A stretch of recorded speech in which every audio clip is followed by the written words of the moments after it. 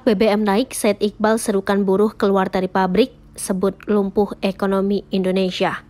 Sejumlah masa buruh menggelar demonstrasi menolak kenaikan harga bahan bakar minyak di depan gedung DPR MPR RI Jakarta, Selasa 6 September 2022. Presiden Partai Buruh Said Iqbal mengatakan pihaknya akan menggelar mogok nasional bila tuntutannya tak terpenuhi.